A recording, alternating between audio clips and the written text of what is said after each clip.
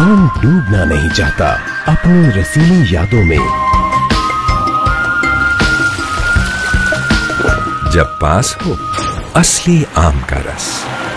एक और दो साहब जी। सारे दे दे यार।